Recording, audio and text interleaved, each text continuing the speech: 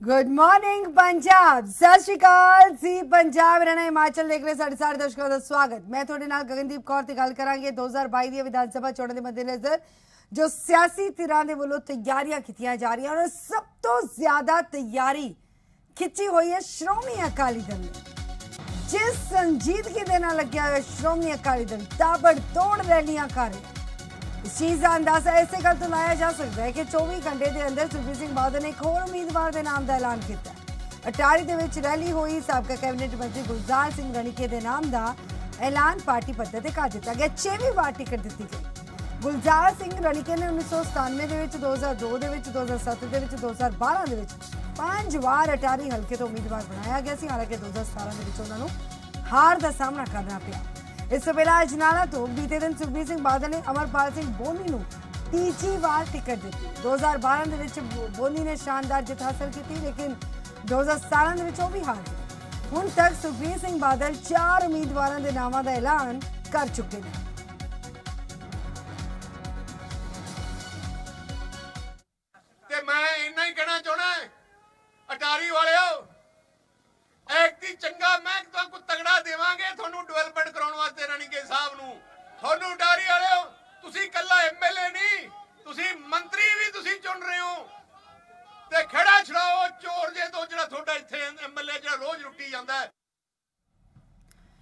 Mission 2022 ਦੇ ਲਈ ਸ਼੍ਰੋਮਣੀ ਅਕਾਲੀ ਦਲ ਨੇ ਤਿਆਰੀ ਖਿੱਚੀ ਹੋਈ ਹੈ ਤਾਂ ਅੰਮ੍ਰਿਤਸਰ ਦੇ ਵਿੱਚ ਪਾਰਟੀ ਦੀ ਰੈਲੀ ਦੇ ਵਿੱਚ ਸੁਖਬੀਰ ਸਿੰਘ ਬਾਦਲ ਨੇ ਸੰਬੋਧਨ ਕੀਤਾ।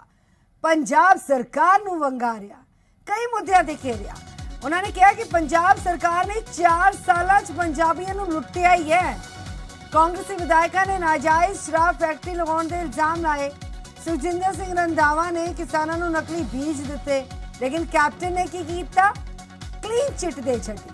ਸ਼ਰਾਬ ਮਾਫੀਆ ਦੇ ਖਿਲਾਫ ਪੰਜਾਬ ਸਰਕਾਰ ਨੇ ਕੋਈ ਕਾਰਵਾਈ ਨਹੀਂ ਕੀਤੀ ਇਹ तमाम ਗੱਲਾਂ ਸੁਖਬੀਰ ਸਿੰਘ ਬਾਦਲ ਨੇ ਕਹੀਆਂ ਔਰ ਇਹ ਵੀ ਕਿਹਾ ਕਿ ਅੱਜ ਸਾਰੇ ਗੈਂਗਸਟਰ ਕਾਂਗਰਸ ਦੇ ਨਾਲ ਰਲੇ ਹੋਏ ਨੇ ਮੈਂ ਪੁੱਛਣਾ ਚਾਹਣਾ ਕੈਪਟਨ ਕਹਿੰਦਾ ਕੈਪਟਨ 2022 ਚ ਮੈਂ ਇਲੈਕਸ਼ਨ ਆਉਂਗਾ ਮੈਂ ਮੁੱਖ ਮੰਤਰੀ ਬਣੂੰਗਾ 2022 ਚ ਤੈਨੂੰ ਮੁੱਖ ਮੰਤਰੀ ਕਿਉਂ ਬਣਾਈਏ ਤੂੰ ਦੱਸ ਤੂੰ ਕੀਤਾ ਕੀ ਹੈ 4 ਸਾਲ ਹੋ ਗਏ ਮੈਂ ਆਰਟੀਏ ਚੋਂ ਕਢਾਇਆ। ਕੈਪਟਨ ਆਪਣੇ ਦਫ਼ਤਰ ਕਿੰਨੇ ਵਾਰ ਗਿਆ? 4 ਸਾਲਾਂ 11 ਦਿਨ ਗਿਆ। ਮੁੱਖ ਮੰਤਰੀ 4 ਸਾਲਾਂ। ਉਹ ਬੈਠਾ ਰਹਿੰਦਾ ਹੈ। ਆ ਜਿਹੜਾ ਨਾ ਮੰਤਰੀ ਹੈ ਧਰਮਸੋਤ ਆਪ ਹੀ ਕਢਾ ਕੇ ਆਪਣੇ ਚਿਹਤੇ ਕਾਲਜਾਂ ਨੂੰ ਦੇਤਾ ਜਿੱਥੇ ਬੱਚੇ ਪੜ੍ਹਦੇ ਨਹੀਂ ਸੀ। ਬੱਚਿਆਂ ਨੂੰ ਨਹੀਂ ਦਿੱਤਾ ਤੇ ਬੱਚਿਆਂ ਨੂੰ ਕਾਲਜਾਂ ਨੇ ਬਾਹਰ ਕਰ ਦਿੱਤਾ। ਸਰਕਾਰ ਦਾ ਖਜ਼ਾਨੇ ਦਾ ਪੈਸਾ ਉਹਨਾਂ ਨੂੰ ਸਿੱਧਾ ਦੇਤਾ। ਦੇਖੋ, ਐਡੀ ਦਲੇਰੀ ਨਾਲ ਕਿੰਨਾ ਵੱਡਾ ਕਪਲਾ ਕਿਵੇਂ ਭੱਜ ਜੂਗਾ ਧਰਮਸੋਤ ਆ ਕੈਪਟਨ ਅਮਰਿੰਦਰ ਸਿੰਘ ਦਾ 2017 ਜਦੋਂ ਗੁਰਕਾ ਸਾਹਿਬ ਦੀ ਸੌਂ ਖਾਦੀ ਆ ਉਹਦਾ ਚੋਣ ਪੱਤਰ ਹੈ। ਉਸ ਚੋਣ ਪੱਤਰ 'ਚ ਲਿਖਿਆ ਹੈ, ਉਹਨੇ 36 ਸਫ਼ੇ 'ਚ ਕਿ ਜਦੋਂ ਮੇਰੀ ਸਰਕਾਰ ਆਊਗੀ ਆ ਤਿੰਨੇ ਕਾਨੂੰਨਾਂ ਦਾ ਵੇਰਵਾ ਦਿੱਤਾ ਹੈ ਕਿ ਜਦੋਂ ਮੇਰੀ ਸਰਕਾਰ ਬਣੂਗੀ, ਮੈਂ ਤਿੰਨੇ ਕਾਨੂੰਨ ਲਾਗੂ ਕਰੂੰਗਾ। ਆਪਾਂ ਨੂੰ ਬੇਵਕੂਫ ਬਣਾ ਰਿਹਾ ਅਸੀਂ ਅਸੈਂਬਲੀ 'ਚ ਵੀ ਗਿਆ ਸੀ, ਰੋਜ਼ ਗਿਆ ਸੀ। ਉਹਨੇ ਕੀ ਕੀਤਾ? ਜਦੋਂ ਮੁੱਖ ਮੰਤਰੀ ਬਣਿਆ, ਜਿੰਨੀਆਂ ਸੋਹਾਂ ਖਾਦੀਆਂ ਉਹ ਤਾਂ ਮੁੱਕਰ ਗਿਆ। ਆ ਤਿੰਨੇ ਕਾਨੂੰਨ ਕੈਬਨਿਟ 'ਚ ਪਾ ਕੇ ਅਸੈਂਬਲੀ 'ਚ ਐਕਟ ਬਣਾਤਾ। ਕੈਬਨਿਟ ਮੰਤਰੀ ਸੁੰਦਰ ਸ਼ਾਮ ਅਰੋੜਾ ਨੇ ਸ਼੍ਰੋਮਣੀ ਅਕਾਲੀ ਦਲ ਦੀਆਂ तमाम ਹੋ ਰਹੀਆਂ ਰੈਲੀਆਂ ਤੇ ਅਕਾਲੀ ਦਲ ਨੂੰ ਨਿਸ਼ਾਨੇ ਤੇ ਲਿਆ ਉਹਨਾਂ ਨੇ ਕਿਹਾ ਇੱਕ ਪਾਸੇ ਸੂਬੇ ਦੇ ਵਿੱਚ ਕਰੋਨਾ ਵਾਇਰਸ ਦਾ ਕਹਿਰ ਫੈਲਿਆ ਹੋਇਆ ਦੂਜੇ ਪਾਸੇ ਸ਼੍ਰੋਮਣੀ ਅਕਾਲੀ ਦਲ ਰੈਲੀਆਂ ਕਰ ਰਿਹਾ ਹੈ। ਉਹਨਾਂ ਨੇ ਕਿਹਾ ਕਿ ਸ਼੍ਰੋਮਣੀ ਅਕਾਲੀ ਦਲ ਦੇ ਕੋਲ ਤਾਂ ਕੋਈ ਮੁੱਦਾ ਹੀ ਨਹੀਂ ਹੈ ਸਿਰਫ ਰੈਲੀਆਂ ਕੀਤੀਆਂ ਜਾ ਰਹੀਆਂ ਨੇ ਉਮੀਦਵਾਰਾਂ ਦੇ ਨਾਵਾਂ ਦਾ ਐਲਾਨ ਕੀਤਾ ਜਾ ਰਿਹਾ ਹੈ ਉਹਨਾਂ ਨੂੰ ਕੋਵਿਡ ਬਾਰੇ ਵੀ ਸੋਚਣਾ ਚਾਹੀਦਾ ਕਿ ਕਿੰਨਾ ਕੋਵਿਡ ਹੈ ਔਰ ਅਗਰ ਰੈਲੀਆਂ ਕਰ ਰਹੇ ਆ ਉਹ ਹੋਰ ਤਾਂ ਕੋਈ ਮੁੱਦਾ ਉਹਨਾਂ ਕੋ ਹੈ ਨਹੀਂ ਬਸ ਜਿੱਥੇ ਜਾਂਦੇ ਕੈਂਡੀਡੇਟ ਡਿਕਲੇਅਰ ਕਰ ਲੈਂਦੇ ਆ। ਰਾਤ ਵੀ ਕੀਤਾ ਸੀ। ਸਾਨੂੰ ਇਹਦੇ ਨਾਲ ਕੋਈ ਫ਼ਰਕ ਨਹੀਂ ਪੈਂਦਾ। ਇਸ ਟਾਈਮ ਕੋਵਿਡ ਚੱਲ ਰਿਹਾ। ਅਸੀਂ, ਸਾਡੀ ਸਾਰੀ ਸਰਕਾਰ ਇਸ ਪਾਸੇ ਲੱਗੀ ਹੋਈ ਹੈ ਕਿ ਅਸੀਂ ਕੋਵਿਡ ਨੂੰ ਕਿੱਦਾਂ ਰੋਕਣਾ ਹੈ ਕੋਵਿਡ ਲਈ ਕਿੱਦਾਂ ਇੰਤਜ਼ਾਮ ਕਰਨੇ ਨੇ। ਤੇ ਆਗੂ ਵਿਰੋਧੀ ਤੇ ਹਰਪਾਲ ਸਿੰਘ ਚੀਮਾ ਨੇ ਕੈਪਟਨ ਸਰਕਾਰ ਦੇ ਵਾਦਾ ਖਿਲਾਫੀ ਦੇ ਇਲਜ਼ਾਮ ਲਾਏ ਨੇ। ਹਰਪਾਲ ਸਿੰਘ ਚੀਮਾ ਨੇ ਕਿਹਾ ਕਿ 2016 ਦੇ ਵਿੱਚ ਸ਼੍ਰੋਮਣੀ ਅਕਾਲੀ ਦਲ ਨੇ ਕੱਚੇ ਮੁਲਾਜ਼ਮਾਂ ਨੂੰ ਪੱਕਿਆ ਕੀਤੇ ਜਾਣ ਦੇ ਲਈ ਵੈਲਫੇਅਰ ਐਕਟ ਲੈ ਕੇ ਆਂਦਾ ਸੀ। ਲੇਕਿਨ ਕੈਪਟਨ ਸਰਕਾਰ ਨੇ ਇਸ ਵੱਲ ਕੋਈ ਕਦਮ ਅੱਗੇ ਨਹੀਂ ਵਧਾਏ। ਇਸ ਤੋਂ ਇਲਾਵਾ ਉਹਨਾਂ ਨੇ ਕਿਹਾ ਕਿ ਸਰਕਾਰ ਨੇ ਘਰ ਘਰ ਰੋਜ਼ਗਾਰ ਦੇਣ ਦਾ ਵਾਅਦਾ ਕੀਤਾ ਸੀ। ਲੇਕਿਨ ਲੋਕਾਂ ਤੋਂ ਤਾਂ ਰੋਜ਼ਗਾਰ ਖੋਏ ਗਏ ਨੇ। ਰੋਜ਼ਗਾਰ ਦੇਣਾ ਤਾਂ ਦੂਰ ਦੀ ਗੱਲ ਹੈ। ਉਹਨਾਂ ਨੇ ਬੇਰੋਜ਼ਗਾਰ ਅਧਿਆਪਕਾਂ ਨੂੰ ਪੱਕਿਆਂ ਕਿਤੇ ਜਾਣ ਦੀ ਵੀ ਮੰਗ ਕੀਤੀ। 2017 ਦੇ ਵਿੱਚ ਜਦੋਂ ਪ੍ਰਸ਼ਾਂਤ ਕਿਸ਼ੋਰ ਜਦੋਂ ਪ੍ਰਸ਼ਾਂਤ ਕਿਸ਼ੋਰ ਤੇ ਕੈਪਟਨ ਸਾਹਿਬ ਮਿਲ ਕੇ ਪੰਜਾਬ ਦੀ ਪੰਜਾਬ ਦੀ ਚੋਣ ਦੇ ਵਿੱਚ ਕੁੱਦੇ ਸੀਗੇ, ਜਦੋਂ ਉਹਨਾਂ ਨੇ ਕਾਂਗਰਸ ਪਾਰਟੀ ਦੇ ਚੋਣ ਮੈਨੀਫੈਸਟੋ ਬਣਾਇਆ ਸੀਗਾ, ਤਾਂ ਉਸ ਸਮੇਂ ਕਿਹਾ ਸੀਗਾ ਕਿ ਘਰ ਘਰ ਦੇ ਵਿੱਚ ਰੋਜ਼ਗਾਰ ਦੇਵਾਂਗੇ। ਲਗਭਗ 20 ਲੱਖ, ਲਗਭਗ 20 ਲੱਖ ਜੌਬ ਕਾਰਡ ਯਾਨੀ ਕਿ ਗਰੰਟੀ ਕਾਰਡ ਕੈਪਟਨ ਸਾਹਿਬ ਨੇ ਲੋਕਾਂ ਦੇ ਘਰਾਂ ਜਾ ਕੇ ਦਿੱਤੇ ਸੀਗੇ। ਪਰ ਲੇਕਿਨ ਹਾਲੇ ਤੱਕ ਉਹ ਜੌਬ ਕਾਰਡ ਦੀ ਜਿਹੜੀ ਗਰੰਟੀ ਕਿਸੇ ਨੂੰ ਨਹੀਂ ਮਿਲੀ। ਸੂਬੇ ਦੇ ਵਿੱਚ ਮਹਿਲਾਵਾਂ ਦੇ ਲਈ ਸ਼ੁਰੂ ਹੋਈ ਮੁਫਤ ਬੱਸ ਸੇਵਾ ਤੇ ਪੰਜਾਬ ਕਾਂਗਰਸ ਦੇ ਪ੍ਰਧਾਨ ਸੁਨੀਲ ਜਾਖੜ ਨੇ ਕਿਹਾ ਕਿ ਪੰਜਾਬ ਸਰਕਾਰ ਨੇ ਚੋਣ ਮੈਨੀਫੈਸਟੋ ਦੇ ਵਿੱਚ ਔਰਤਾਂ ਦੇ ਨਾਲ ਜੋ ਵਾਅਦੇ ਕੀਤੇ ਸੀ, ਉਹ ਪੂਰੇ ਕੀਤੇ ਨੇ। ਉਹਨਾਂ ਨੇ ਕਿਹਾ ਕਿ ਸਰਕਾਰ ਨੇ 85% ਵਾਅਦੇ ਪੂਰੇ ਕੀਤੇ ਨੇ।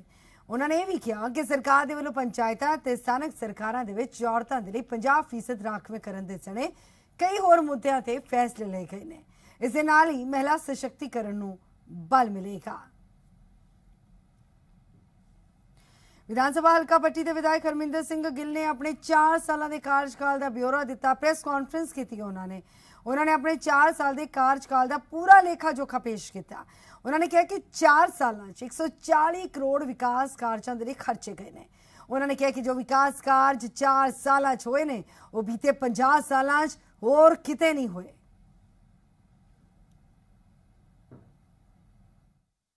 ਇਹਨਾਂ 4 ਸਾਲਾਂ ਦੇ ਦੌਰਾਨ 140 ਕਰੋੜ ਤੋਂ ਵੱਧ ਲਾਗਤ ਵਾਲੇ ਕੰਮ ਜਿਹੜੇ ਪੀਡਬਲਯੂਡੀ ਨੇ ਸਾਡੇ ਹਲਕੇ 'ਚ ਮੁਕੰਮਲ ਕੀਤੇ ਨੇ।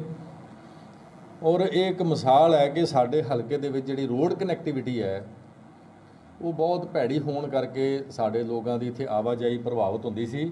ਪਰ ਅੱਜ ਸਾਡੇ ਹਲਕੇ ਵਿੱਚ ਬਿਹਤਰੀਨ ਰੋਡ ਕਨੈਕਟੀਵਿਟੀ ਪੀਡਬਲਯੂਡੀ ਮਹਿਕਮੇ ਦੇ ਸਹਿਯੋਗ ਸਦਕਾ। ਅੱਜ ਸਾਰੀਆਂ ਸੜਕਾਂ ਜਿਹੜੀਆਂ, ਉਹਨਾਂ ਦਾ ਪੁਨਰ ਨਿਰਮਾਣ ਹੋ ਰਿਹਾ। ਲੁਧਿਆਣਾ ਦੇ ਵਿੱਚ ਰਾਜ ਸਭਾ ਮੈਂਬਰ ਸ਼ਵੇਤ ਮਲਿਕ ਦਾ ਵਿਰੋਧ ਕੀਤਾ ਗਿਆ ਔਰ ਵਿਰੋਧ ਕੀਤਾ ਕਿਸਾਨਾਂ ਨੇ ਔਰ ਕਾਲੀਆਂ ਝੰਡੀਆਂ ਦਿਖਾ ਕੇ ਆਪਣਾ ਗੁੱਸਾ ਜ਼ਾਹਿਰ ਕੀਤਾ ਗਿਆ। ਲੁਧਿਆਣਾ ਪ੍ਰੈਸ ਕਾਨਫਰੰਸ ਦੇ ਵਿੱਚ ਸ਼ਾਮਿਲ ਹੋਣ ਦੇ ਲਈ ਪਹੁੰਚ ਰਹੇ ਸਨ ਸ਼ਵੇਤ ਮਲਿਕ, ਲੇਕਿਨ ਇਸ ਦਰਮਿਆਨ ਰਸਤੇ ਦੇ ਵਿੱਚ ਜਿਸ ਵੇਲੇ ਕਾਫਿਲਾ ਉਹਨਾਂ ਦਾ ਗੁਜ਼ਰ ਰਿਹਾ ਸੀ, ਲੁਧਿਆਣਾ ਵੱਲ ਜਾ ਰਿਹਾ ਸੀ, ਉਸ ਵੇਲੇ ਦੀਆਂ ਤਸਵੀਰਾਂ ਤੁਹਾਡੀ ਟੀਵੀ ਸਕਰੀਨ ਤੇ। ਇਹ ਦੇਖੋ, ਇਹ ਕਾਫਲਾ ਸ਼ਵੇਤ ਮਲਿਕ ਦਾ ਲੁਧਿਆਣਾ ਦੇ ਵੱਲ ਜਾ ਰਿਹਾ ਹੈ, ਜਿਸ ਵੇਲੇ ਸ਼ਵੇਤ ਮਲਿਕ ਦੇ ਵੱਲੋਂ ਪ੍ਰੈਸ ਕਾਨਫਰੰਸ ਲੁਧਿਆਣਾ ਜਾ ਕੇ ਕਰ ਰਹੀ ਸੀ, ਲੇਕਿਨ ਰਸਤੇ ਦੇ ਵਿੱਚ ਕਿਸਾਨਾਂ ਦੇ ਵੱਲੋਂ ਕਾਲੀਆਂ ਝੰਡੀਆਂ ਦਿਖਾ ਕੇ ਖੇਤੀ ਕਾਨੂੰਨਾਂ ਦਾ ਵਿਰੋਧ ਕਰਦੇ ਹੋਏ ਆਪਣਾ ਗੁੱਸਾ ਜ਼ਾਹਿਰ ਕੀਤਾ ਗਿਆ। ਜਦੋਂ ਸਾਨੂੰ ਪਤਾ ਲੱਗਾ ਕਿ ਬੀਜੇਪੀ ਦਾ ਜਿਹੜਾ, ਪੰਜਾਬ ਦਾ ਜਿਹੜਾ ਆ ਅਹੁਦੇਦਾਰ ਆ ਸਵੇਤ ਮਲਕ ਜਿਹੜਾ ਆ, ਉਹ ਲੁਧਿਆਣੇ ਜਾ ਰਿਹਾ ਤੇ ਕਿਸਾਨ ਜਥੇਬੰਦੀਆਂ ਨੇ ਉਸੇ ਵੇਲੇ ਕਾਲੇ ਝੰਡੇ ਲੈ ਕੇ ਜਿਹੜਾ ਉਹਦਾ ਵਿਰੋਧ ਕੀਤਾ ਗਿਆ। ਇਹ ਜਿਹੜਾ ਵਿਰੋਧ ਆ ਉਨਾ ਚਿਰ ਜਾਰੀ ਰਹਿਣਾ ਬੀਜੇਪੀ ਦਾ, ਜਿੰਨਾ ਚਿਰ ਜਿਹੜੇ ਕਾਲੇ ਕਾਨੂੰਨ ਆ, ਉਹ ਰੱਦ ਨਹੀਂ ਹੁੰਦੇ। ਬਹੁਜਨ ਸਮਾਜ ਪਾਰਟੀ ਦੇ ਸ- ਕਾਸ਼ੀ ਰਾਮ ਜੀ ਦੀ 87ਵੀਂ ਜਯੰਤੀ ਦੇ ਮੌਕੇ ਤੇ ਉਹਨਾਂ ਦੇ ਜਨਮ ਸਥਾਨ ਖਾਸਪੁਰਾ ਵਿਖੇ ਇੱਕ ਰੈਲੀ ਕੀਤੀ ਗਈ। ਰੈਲੀ ਦੇ ਵਿੱਚ ਬਿਨਾਂ ਮਾਸਕ ਤੋਂ ਲੋਕ ਨਜ਼ਰ ਆਏ। ਕਰੋਨਾ ਦੀਆਂ ਨਿਯਮਾਂ ਦੀਆਂ, ਸ਼ਰੇਆਮ ਧੱਜੀਆਂ ਉੜਦੀਆਂ ਦੇਖੀਆਂ ਜਾ ਸਕਦੀਆਂ ਨੇ ਨਾ ਟੀਵੀ ਸਕਰੀਨ 'ਚ ਇਹ ਵੀ ਦੇਖ ਸਕਦੇ ਆ ਕਿ ਬਸਪਾ ਦੀ ਇਸ ਰੈਲੀ ਨੂੰ 2022 ਦੀਆਂ ਚੋਣਾਂ ਦੇ ਨਾਲ ਜੋੜ ਕੇ ਵੀ ਦੇਖਿਆ ਗਿਆ। ਕਿਉਂਕਿ ਪੰਜਾਬ ਦੇ ਵਿੱਚ ਬਸਪਾ ਦੇ ਮੁਖੀ ਜਸਵੀਰ ਸਿੰਘ ਨੇ ਇਸ ਮੌਕੇ ਤੇ ਕਿਹਾ ਕਿ ਬਸਪਾ ਬੀਜੇਪੀ ਨੂੰ ਛੱਡ ਕੇ ਕਿਸੇ ਵੀ ਪਾਰਟੀ ਦਾ ਸਮਰਥਨ ਲੈ ਸਕਦੀ ਹੈ ਜਾਂ ਸਮਰਥਨ ਕਰ ਸਕਦੀ ਹੈ ਉਹਨਾਂ ਨੇ ਕੇਂਦਰ ਸਰਕਾਰ ਦੇ ਵੱਲੋਂ ਕਿਸਾਨਾਂ ਦੇ ਨਾਲ ਕਿਤੇ ਵਤੀਰੇ ਦੀ ਸਖਤ ਸ਼ਬਦਾਂ 'ਚ ਨਿੰਦਾ ਕੀਤੀ ਹੈ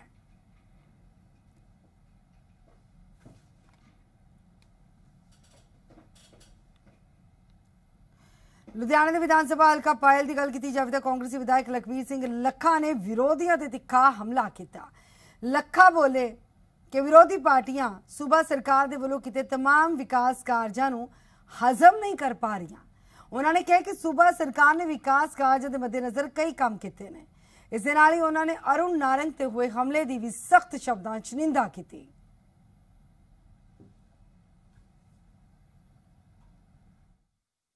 ਕੈਪਟਨ ਅਮਰਿੰਦਰ ਸਿੰਘ ਦੀ ਅਗਵਾਈ 'ਚ ਜਿਹੜੀ ਪੰਜਾਬ ਸਰਕਾਰ ਚੱਲ ਰਹੀ ਆ, ਬੜੀ ਵਧੀਆ ਚੱਲ ਰਹੀ ਹੈ ਤੇ ਲੋਕਾਂ ਦੀ ਹਰ ਤਕਲੀਫ ਦਾ ਹੱਲ ਕਰ ਰਹੇ ਨੇ। ਜਿਸ ਤਰ੍ਹਾਂ ਤੁਸੀਂ ਕੱਲ ਦੇਖਿਆ ਹੋਣਾ ਕਿ ਪੰਜਾਬ ਅੰਦਰ ਮਹਿਲਾਵਾਂ ਨੂੰ ਫ੍ਰੀ ਬੱਸ ਸਰਵਿਸ ਦਿੱਤੀ ਆ, ਉਹਦੇ ਤੇ ਵੀ ਵਿਰੋਧੀ ਪਾਰਟੀਆਂ ਨੂੰ ਚੁੰਡੀ ਵੱਢੀ ਗਈ ਆ।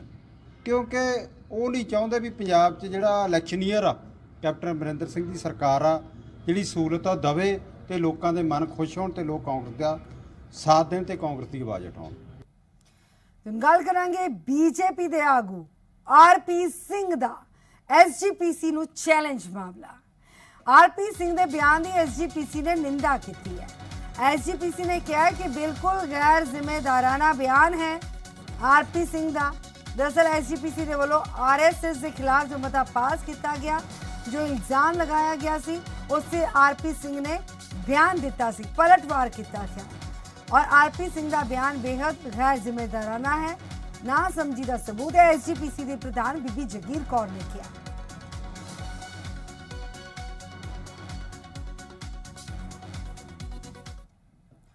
ਪੰਜਾਬ ਦੇ ਸਰਹੱਦੀ ਕਿਸਾਨਾਂ ਦੇ ਯੂਪੀ, ਬਿਹਾਰ ਤੋਂ ਆਉਣ ਵਾਲੇ ਮਜ਼ਦੂਰਾਂ ਨੂੰ ਨਸ਼ਿਆਂ ਦੇ ਆਦੀ ਬਣਾਉਣ ਦੇ ਜੋ ਇਲਜ਼ਾਮ ਲੱਗੇ ਨੇ, ਤਾਂ ਬੀਐਸਐਫ ਦੇ ਵੱਲੋਂ ਜੋ ਰਿਪੋਰਟ ਸੌਂਪੀ ਗਈ ਹੈ, ਕੇਂਦਰੀ ਗ੍ਰਹਿ ਮੰਤਰਾਲੇ ਨੂੰ। ਉਸ ਤੋਂ ਬਾਅਦ ਕੇਂਦਰੀ ਗ੍ਰਹਿ ਮੰਤਰਾਲੇ ਨੇ ਪੰਜਾਬ ਦੇ ਮੁੱਖ ਸਕੱਤਰ ਤੇ ਡੀਜੀਪੀ ਨੂੰ ਇੱਕ ਚਿੱਠੀ ਲਿਖੀ ਹੈ, ਗੁਪਤ ਚਿੱਠੀ ਦੀ, ਲੇਕਿਨ ਐਕਸਕਲੂਸਿਵ ਕਾਪੀ ਜੋ ਹੈ ਜ਼ੀ ਮੀਡੀਆ ਦੇ ਕੋਲ ਸਾਹਮਣੇ ਆਈ।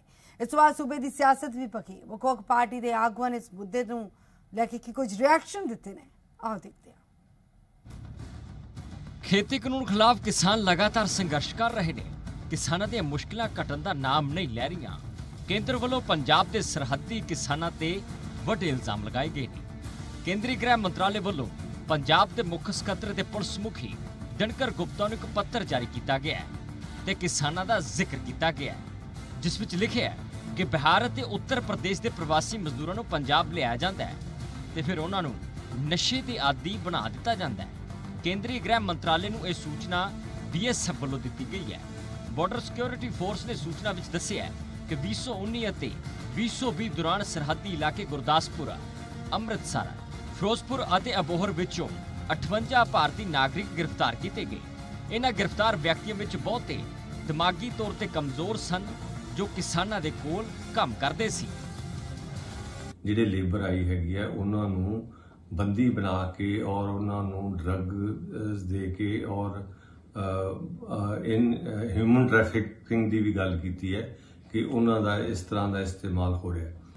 ਉਧਰ ਪੰਜਾਬ ਦੀਆਂ ਪ੍ਰਮੁੱਖ ਪਾਰਟੀਆਂ ਨੇ ਕੇਂਦਰ ਦੀ ਹਕੂਮਤ ਤੇ ਵੱਡੇ ਇਲਜ਼ਾਮ ਲਗਾਏ ਨੇ ਤੇ ਇਸ ਚਿੱਠੀ ਨੂੰ ਖਾਰਜ ਕੀਤਾ ਹੈ।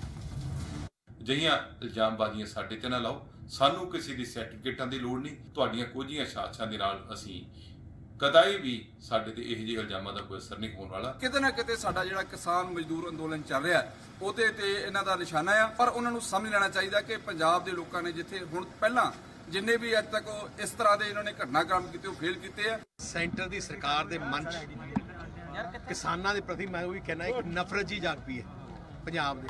ਹਰ ਚੀਜ਼ 'ਚ ਉਹਨਾਂ ਨੂੰ ਬਲੇਮ ਕਰਨ ਦੇ ਲੱਗੇ ਆ। ਸੋ ਤੁਸੀਂ ਜੇ ਲਿਖਿਆ ਪ੍ਰੂਫ ਦਿਓ। ਇਸ ਅੰਦੋਲਨ ਦੇ ਵਿੱਚ ਮਤਲਬ ਇੱਕ ਹੋਰ ਜਿਹੜਾ ਸਮਾਜ ਦੇ ਵਿੱਚ ਡਿਵਾਈਡ ਕਿਵੇਂ ਕੀਤਾ ਜਾਵੇ ਪੰਜਾਬੀਆਂ ਦੀ ਬਰਿਆਈ ਕਿਵੇਂ ਕੀਤੀ ਜਾ ਸਕੇ, ਇਹ ਇਸ ਮਨਸ਼ੇ ਦੇ ਨਾਲ ਜਿਹੜੀ ਕੇਂਦਰ ਸਰਕਾਰ ਆ, ਇਸ ਕਿਸਮ ਦਾ ਪ੍ਰਚਾਰ ਪ੍ਰੋਪਗੈਂਡਾ ਕਰਾ ਰਹੀ ਆ। ਕਿਸਾਨ ਜਥੇਬੰਦੀਆਂ ਵੱਲੋਂ ਇਸ ਚਿੱਠੀ ਦੀ ਨਿਖੇਧੀ ਕੀਤੀ ਜਾ ਰਹੀ ਹੈ। ਉਧਰ ਚਿੱਠੀ ਦੀ ਟਾਈਮਿੰਗ ਨੂੰ ਲੈ ਕੇ ਸਵਾਲ ਖੜੇ ਹੋ ਰਹੇ ਨੇ, ਕਿਉਂਕਿ ਜਿਸ ਰਿਪੋਰਟ ਦਾ ਹਵਾਲਾ ਦਿੱਤਾ ਜਾ ਰਿਹਾ ਹੈ, ਉਹ ਰਿਪੋਰਟ 2019-2020 ਦੀ ਹੈ। ਚਿੱਠੀ ਜੋ ਭੇਜੀ ਗਈ ਹੈ, ਉਹ ਮਾਰਚ 2021 ਦੀ ਹੈ। ਸਵਾਲ ਇਹ ਉੱਠ ਰਿਹਾ ਹੈ ਜੇਕਰ ਬੀਐਸਐਫ ਵੱਲੋਂ ਰਿਪੋਰਟ 2 ਸਾਲ ਪਹਿਲਾਂ ਕੇਂਦਰ ਦੇ ਗ੍ਰਹਿ ਮੰਤਰਾਲੇ ਨੂੰ ਗਈ ਸੀ, ਤਾਂ ਹੁਣ ਕਿਸਾਨ ਅੰਦੋਲਨ ਦੇ ਵਿਚਾਲੇ ਇਸ ਚਿੱਠੀ ਦੇ ਪੰਜਾਬ ਭੇਜਣ ਦੇ ਮਾਇਨੇ ਕੀ ਨੇ? ਬਿਊਰੋ ਰਿਪੋਰਟ ਜ਼ੀ ਮੀਡੀਆ ਇਸ ਮਾਮਲੇ ਤੇ ਵਿਧਾਨ ਸਭਾ ਦੇ ਸਪੀਕਰ ਰਾਣਾ ਕੇਪੀ ਸਿੰਘ ਨੇ ਕੀ ਕਿਹਾ? ਉਹ ਕਿਹਾ, ਉਹ ਕਹਿੰਦੇ ਨੇ ਕਿ ਜੋ ਵੀ ਇਲਜ਼ਾਮ ਲਗਾਏ ਗਏ ਨੇ, ਬਿਲਕੁਲ ਬੇਬੁਨਿਆਦ ਨੇ। ਇਹ ਜੋ ਬਿਆਨ ਦੇ ਕੇ ਸਾਨੂੰ ਸਿਰਫ ਵੰਡਣ ਦੀ ਕੋਸ਼ਿਸ਼ ਹੋ ਰਹੀ ਹੈ। ਇਸ ਤੋਂ ਇਲਾਵਾ ਕੈਬਨਿਟ ਮੰਤਰੀ ਸੁੰਦਰ ਸ਼ਾਮ ਅਰੋੜਾ ਤੇ ਵਿਧਾਇਕ ਹਰਜੋਤ ਕਮਲ ਨੇ ਵੀ ਰਿਐਕਸ਼ਨ ਜ਼ਾਹਿਰ ਕੀਤਾ।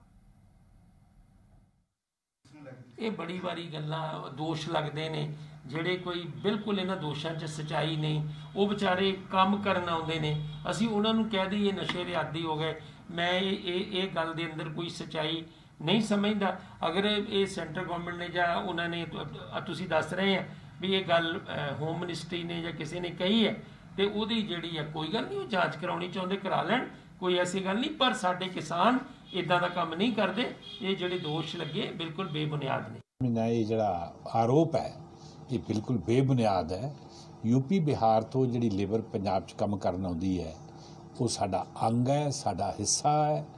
ਹੌਲੀ ਹੌਲੀ ਹੌਲੀ ਹੌਲੀ ਹੌਲੀ ਉਹ ਪੰਜਾਬ ਦੇ ਜਿਹੜਾ ਕਲਚਰ ਹੈ, ਉਹਦੇ ਮੁਤਾਬਕ ਉਹਨਾਂ ਨੇ ਆਪਣੇ ਆਪ ਨੂੰ ਢਾਲਿਆ ਉਹਦੇ ਮੁਤਾਬਕ ਉਹ ਕੰਮ ਕਰਦੇ ਹੈ। ਸਾਨੂੰ ਉਹ ਉਨੇ ਹੀ ਪਿਆਰੇ ਹੈ ਜਿੰਨੇ ਸਾਨੂੰ ਪੰਜਾਬ ਦੇ ਆਪਣੇ ਲੋਕ ਜਿਹੜੇ ਇੱਥੇ ਲੇਬਰ ਕਰਦੇ, ਉਹ ਪਿਆਰੇ ਹੈ ਇਹ ਮੈਂ ਸਮਝਦਾ ਵੀ ਸਰਾਸਰ ਗਲਤ ਗੱਲ ਹੈ ਔਰ ਇਹਦੇ ਤੇ ਤਫਤੀਸ਼ ਜਿੱਥੋਂ ਮਰਜ਼ੀ ਕਰਵਾ ਲੈਣ।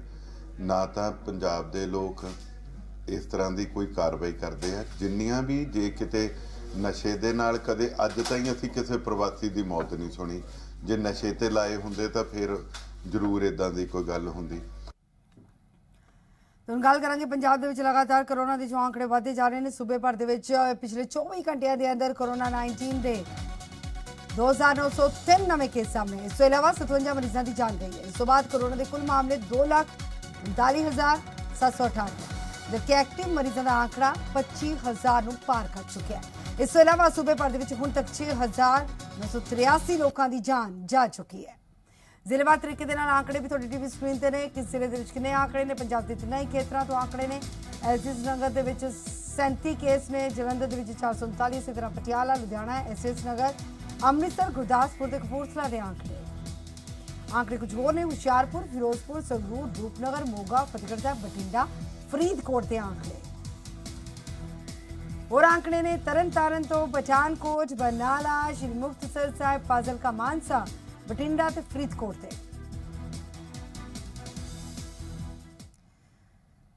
ਤਾਂ ਕਰੋਨਾ ਦੇ ਜੋ ਲਗਾਤਾਰ ਕੇਸ ਵਧਦੇ ਜਾ ਰਹੇ ਨੇ, ਇਸੇ ਦੇ ਮੱਦੇਨਜ਼ਰ ਲੁਧਿਆਣਾ ਜ਼ਿਲ੍ਹੇ ਦੇ ਵਿੱਚ ਸਿਹਤ ਮਹਿਕਮੇ ਦੇ ਵੱਲੋਂ ਪੁਖਤਾ ਬੰਦੋਬਸਤ ਕੀਤੇ ਜਾਣ ਦੇ ਦਾਅਵੇ ਵੀ ਕੀਤੇ ਜਾ ਰਹੇ ਨੇ। ਔਰ ਇਸੇ ਦੇ ਤਹਿਤ ਦੱਸਿਆ ਜਾ ਰਿਹਾ ਕਿ ਜ਼ਿਲ੍ਹੇ ਭਰ ਦੇ ਵਿੱਚ ਵੈਂਟੀਲੇਟਰਾਂ ਦੀ ਗਿਣਤੀ ਨੂੰ ਵਧਾ ਦਿੱਤਾ ਗਿਆ ਜ਼ਿਲ੍ਹੇ ਦੇ ਵਿੱਚ ਹੁਣ ਤੱਕ 185 ਵੈਂਟੀਲੇਟਰ ਨੇ ਨਿੱਜੀ ਹਸਪਤਾਲ ਦੇ ਵਿੱਚ 145 ਨੇ, ਸਰਕਾਰੀ ਹਸਪਤਾਲ ਦੇ ਵਿੱਚ 18 ਔਰ ਸਰਕਾਰ ਨੇ ਸਰਕਾਰੀ ਅਤੇ ਨਿੱਜੀ ਹਸਪਤਾਲਾਂ ਦੇ ਵਿੱਚ ਵੈਂਟੀਲੇਟਰਾਂ ਦੀ ਕੀਮਤ ਨਿਰਧਾਰਿਤ ਵੀ ਕਰ ਦਿੱਤੀ ਹੈ। ਫੀਸ ਵਸੂਲਣ ਵਾਲਿਆਂ ਦੇ ਖਿਲਾਫ ਅਗਰ ਕੋਈ ਜ਼ਿਆਦਾ ਫੀਸ ਵਸੂਲੇਗਾ ਤੈ ਵੈਂਟੀਲੇਟਰ ਦੀ ਕੀਮਤ ਤੋਂ, ਤਾਂ ਉਸ ਦੇ ਖਿਲਾਫ ਸਖਤ ਕਾਰਵਾਈ ਦੀ ਚੇਤਾਵਨੀ ਵੀ ਦੇ ਛੱਡੀ ਹੈ। ਨਿੱਜੀ ਮੈਡੀਕਲ ਕਾਲਜ ਤੇ ਟੀਚਿੰਗ ਪ੍ਰੋਗਰਾਮ ਦੇ ਵਿੱਚ ਆਈਸੋਲੇਸ਼ਨ ਬੈੱਡ ਦੀ ਕੀਮਤ 10000 ਰੁਪਏ ਹੈ। ਪ੍ਰਤੀ ਬੈੱਡ, ਜਦਕਿ ਮੱਧਮ ਗੰਭੀਰ ਹਾਲਾਤਾਂ ਦੇ ਵਿੱਚ ਪੀਵੀ ਕਿਟ ਦੇ ਨਾਲ ਇਸ ਦੀ ਕੀਮਤ 15000 ਹੈ। ਔਰ ਗੰਭੀਰ ਹਾਲਾਤਾਂ ਦੇ ਵਿੱਚ ਬੈੱਡ ਦੀ ਕੀਮਤ ਹੈ 18000 ਰੁਪਏ। ਸਾਡੇ ਕੋਲ ਸਰਕਾਰੀ ਤੇ ਪ੍ਰਾਈਵੇਟ, ਦੋਨਾਂ ਜੇ ਨੂੰ ਆਪਾਂ ਜੇ ਰਲਾ ਲਈਏ ਤੇ 100 ਤੇ 65 ਦੇ ਕਰੀਬ ਜਿਹੜੇ ਹੈ ਵੈਂਟੀਲੇਟਰ ਅਵੇਲੇਬਲ ਹੈ। ਜੋ ਵੀ ਚਾਰजेस ਹੈ ਸਰ ਗਵਰਨਮੈਂਟ ਨੇ ਗਾਈਡਲਾਈਨ ਦਿੱਤੀਆਂ ਹੈ ਕਿ ਐਨਏਬੀਐਚ ਹਸਪੀਟਲ ਹੈ, ਉਹਦੇ ਕਿੰਨੇ ਚਾਰजेस ਪਰ ਬੈੱਡ ਪਰ ਪੇਸ਼ੈਂਟ ਪਰ ਬੈੱਡ ਪਰ ਡੇ ਹੋਣਗੇ? ਕਰੋਨਾ ਦੇ ਸੰਬੰਧੀ ਜਿੱਥੇ ਸਰਕਾਰ ਗੰਭੀਰ ਨਜ਼ਰ ਆਉਂਦੀ ਹੈ, ਤੇ ਫਰੀਦਕੋਟ ਦੇ ਲੋਕ ਬੇਫਿਕਰ ਨਜ਼ਰ ਆਉਂਦੇ ਨੇ। ਜ਼ਿਲ੍ਹੇ ਦੇ ਲੋਕ ਬਿਨਾਂ ਮਾਸਕ ਘੁੰਮਦੇ ਹੋਏ ਦੇਖੇ ਜਾ ਸਕਦੇ ਨੇ। ਟੀਵੀ ਸਕਰੀਨ ਤੇ ਦੇਖੋ ਤਸਵੀਰਾਂ। ਸਿਹਤ ਵਿਭਾਗ ਤੇ ਪੁਲਿਸ ਨੇ ਲੋਕਾਂ ਦੀ ਲਾਪਰਵਾਹੀ ਨੂੰ ਦੇਖਦੇ ਹੋਏ ਸਖਤ ਰੁਖ ਅਖਤਿਆਰ ਕੀਤਾ ਹੈ। ਜਿਨ੍ਹਾਂ ਲੋਕਾਂ ਨੇ ਮਾਸਕ ਨਹੀਂ ਪਾਏ ਸਨ, ਉਹਨਾਂ ਦੇ ਚਲਾਨ ਖੱਟੇ ਜਾ ਰਹੇ ਨੇ। ਔਰ ਜਾਣਕਾਰੀ ਮਿਲ ਰਹੀ ਹੈ ਕਿ 76 ਲੱਖ 24750 ਰੁਪਏ ਦੇ ਚਲਾਨ ਹੁਣ ਤੱਕ ਕੱਟੇ ਜਾ ਚੁੱਕੇ ਨੇ। ਜਿਹੜੇ ਹੁਣ ਤੱਕ ਚਲਾਨ ਹੋਏ ਆ, ਮਾਸਕ ਤੇ ਰਿਗਾਰਡਿੰਗ 16075 ਚਲਾਨ ਹੋਏ ਆ ਔਰ ਉਹਦੀ ਅਮਾਉਂਟ ਜਿਹੜਾ ਇਕੱਠਾ ਹੋਇਆ 75 ਲੱਖ 50250 ਰੁਪਏ ਹੋਮ ਆਈਸੋਲੇਸ਼ਨ ਦੇ ਵਿੱਚ 7 ਚਲਾਨ ਹੋਏ ਆ 14000 ਰੁਪਏ ਦੀ ਕਲੈਕਸ਼ਨ ਇਹਦੇ ਵਿੱਚ। ਔਰ ਸੋਸ਼ਲ ਡਿਸਟੈਂਸ ਤੇ 26 ਚਲਾਨ ਹੈ ਜਿਨ੍ਹਾਂ ਦੇ 54000 ਰੁਪਇਆ 1 ਜੂਨ 2020 ਤੋਂ 31 3 2021 ਤੱਕ ਕਲੈਕਸ਼ਨ ਹੋਈ ਹੈ। ਸ਼੍ਰੀ ਮੁਕਤਸਰ ਸਾਹਿਬ ਦੇ ਵਿੱਚ ਗਿੱਦੜਬਾਹ ਦੇ ਵਿੱਚ ਕਰੋਨਾ ਵੈਕਸੀਨ ਦਾ ਜੋ ਕੈਂਪ ਲਾਇਆ ਗਿਆ ਕੈਂਪ ਦੇ ਵਿੱਚ ਵੱਡੀ ਗਿਣਤੀ ਦੇ ਵਿੱਚ ਲੋਕਾਂ ਨੇ ਵੈਕਸੀਨ ਵੀ ਲਗਾਈ ਔਰ ਕੈਂਪ ਦੇ ਵਿੱਚ ਜ਼ਿਆਦਾਤਰ 45 ਸਾਲ ਤੋਂ ਜ਼ਿਆਦਾ ਉਮਰ ਦੇ ਲੋਕ ਪਹੁੰਚੇ ਫਰੰਟ ਲਾਈਨ ਵਰਕਰ ਪਹੁੰਚੇ ਬਹੁਤ ਵੱਡਾ ਮੈਗਾ ਕੈਂਪ ਲਗਾਇਆ ਗਿਆ ਹੈ। ਇਸ ਦੇ ਵਿੱਚ ਹੁਣ ਤੱਕ ਜਿਹੜੀਆਂ ਹੈ, ਸਵੇਰ ਤੋਂ ਲੈ ਕੇ 250 ਤੋਂ ਵੱਧ ਵੈਕਸੀਨੇਸ਼ਨ ਹੋ ਚੁੱਕੀ ਹੈ ਤੇ ਸਾਨੂੰ ਉਮੀਦ ਹੈ ਕਿ 500 ਪਲੱਸ ਵੈਕਸੀਨੇਸ਼ਨ ਹੋ ਜਾਏਗੀ ਇਸ ਦੇ ਵਿੱਚ 45 ਇਅਰਸ ਤੋਂ ਉੱਪਰ ਜਿੰਨੇ ਵੀ ਬੈਨੀਫਿਸ਼ਰੀਜ਼ ਹੈਗੇ ਆ, ਉਹਨਾਂ ਨੂੰ ਵੈਕਸੀਨੇਸ਼ਨ ਲਗਾਈ ਜਾਂਦੀ ਹੈ। ਤੇ ਔਰ ਮੇਰੀ ਲੋਕਾਂ ਨੂੰ ਅਪੀਲ ਵੀ ਹੈ ਕਿ ਇਹਨਾਂ ਲੋਕਾਂ ਨੂੰ, ਸਾਰਿਆਂ ਨੂੰ ਲਗਾਉਣੀ ਚਾਹੀਦੀ ਹੈ। ਤੁਹਾਨੂੰ ਕਰਾਂਗੇ ਪਠਾਨਕੋਟ ਦਾ ਰੋਕੋ ਟੋਕੋ ਮੁਹਿੰਮ ਦੇ ਤਹਿਤ ਸਾਡੀ ਟੀਮ ਪਠਾਨਕੋਟ ਪਹੁੰਚੀ। ਕੀ ਹਾਲਾਤ ਨੇ ਪਠਾਨਕੋਟ ਦੇ? ਲੋਕ ਨਿਯਮਾਂ ਦੀ ਕਿੰਨੀ ਜਾ- ਜਾਣਕਾਰੀ ਰੱਖਦੇ ਨੇ, ਕਿੰਨੀ ਪਾਲਣਾ ਕਰਦੇ ਨੇ? ਤੁਸੀਂ ਦੇਖੋ ਇੱਕ ਖਾਸ ਰਿਪੋਰਟ, ਮੈਂ ਦੇ ਇਜਾਜ਼ਤ पठानकोट बस स्टैंड पे मौजूद हैं। पठानकोट बस स्टैंड का रियलिटी चेक कर लेते हैं कि आखिरकार लोग मास्क को लेकर के कितने ज़्यादा अवेयर हैं यहाँ पठानकोट में। कुछ लोग यहाँ जो है वो बैठे हुए हैं लेकिन उन्होंने बिल्कुल भी जो है यहाँ मास्क नहीं पहन रखा है। ये भाई साहब हमारे साथ हैं। जनाब बिल्कुल मास्क नहीं पहन रखा आप लोगों ने? हाँ जी। मास्क क्यों नहीं पहना आपने? मास्क नहीं जेब में क्या कर रहे हैं? ज़रूरत तो ये है कि खाना खा गए थे ना। खाना खाने आते हैं? हाँ खाना खा के था। तो फिर मा, मास्क पहनना तो ज़रूरी है? हम जेबी में बाथरूम करने गया था हम चेता बोल गया आप जनाब मास्क नहीं पहन रहे हैं? साहब खा रहे हैं हाँ? खा रहे हैं। ये देखिए यहाँ भी कुछ लोग बैठे हैं। मैम आपने बिल्कुल भी मास्क नहीं पहन रखे? ठंडा पीना है मास्क को लगाया था। हाँ ठंडा पी रही हूँ मास्क को लगाया है। लगाया हुआ था।